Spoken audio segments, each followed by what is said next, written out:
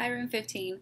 This is a really cool book. It's called I Need My Monster, and it's written by Amanda Noll and illustrated by Howard McWilliam. It's a really cute book. We read it to Remy all the time. This is called I Need My Monster. I'm going to see if we can get the pictures. They're really funny. all right, let's see if we can see the pictures. There we go.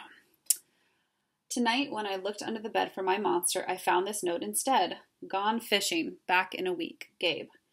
What was I going to do? I needed my monster under the bed. How was I supposed to get to sleep if my monster was gone?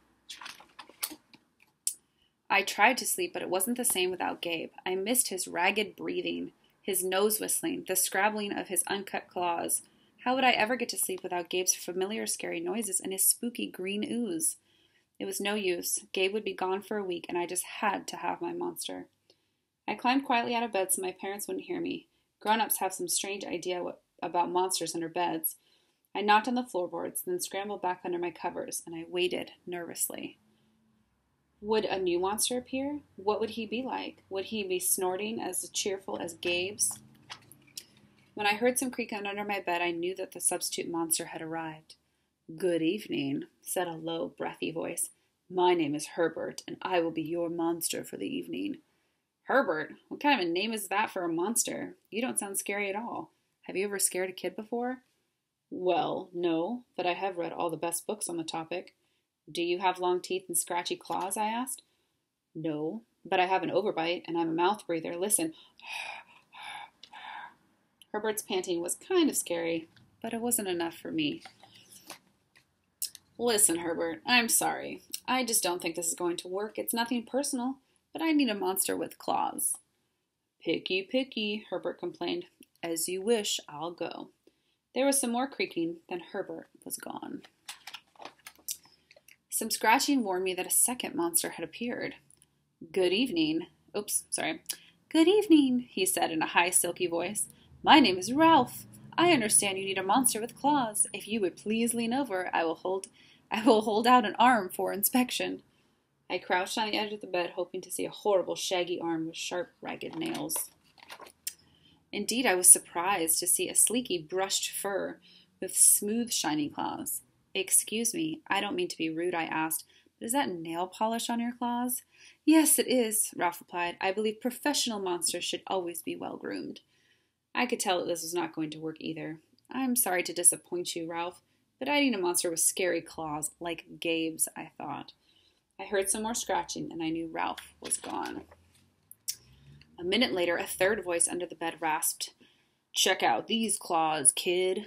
I gathered my courage and peered over the edge. The claws were impressive, jagged and dark and razor sharp. So far, so good. I was a little nervous.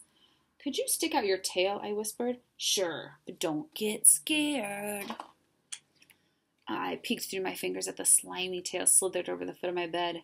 That's when I noticed the bow. Are you a girl monster?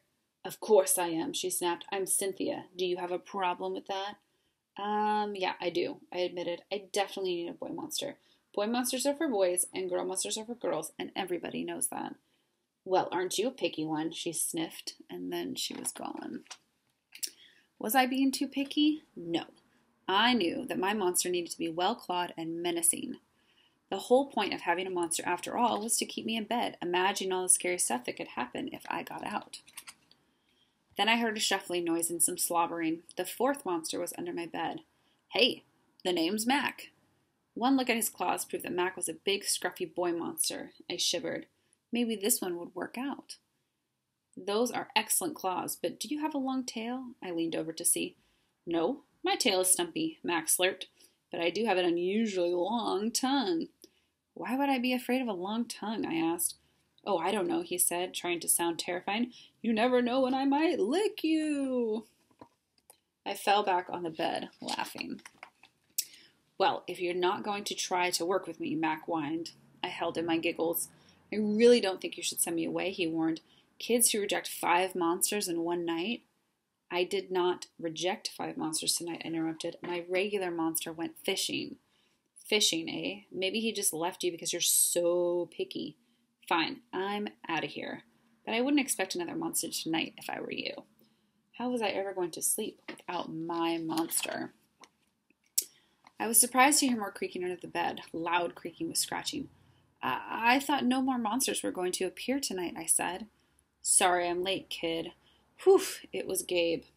I thought I would enjoy fishing, but I didn't, he explained. Those fish scare too easily. No challenge at all. You, however, are challenging, my friend. You're almost too old to be afraid of monsters. To keep me on my to- you keep me on my toes, and toes, mmm, a delicious snack. The bed quivered as Gabe's stomach rumbled with hunger.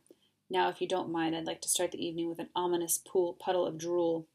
I peeked over the edge of the bed. Green ooze spread soundless, soundlessly from underneath. Then the bed trembled as Gabe unfurled his spiked tail. He was daring me to guess where he might pop up. I shivered. See? So, you had some substitute monsters tonight, Gabe said, sharpening his claws on my bedpost. Were you scared? Then Gabe started tapping. I could tell he wanted to know if I still needed him. No other monsters can scare me like you, I giggled, diving under my covers and pulling them up tight. Through the blanket, I heard Gabe's soft, comforting snorts. Ha! I knew it. We're made for each other, he growled. When my blanket started to slip off the bed, I knew was Gabe was ready to eat. Now, if you could please stick out your foot, he said, I'd like to nibble your pinky. I yanked my blanket back and scratched my feet so Gabe couldn't get 'em. No toes tonight, but you can have this, I offered, pushing the pillow off the bed. I didn't even hear it hit the floor.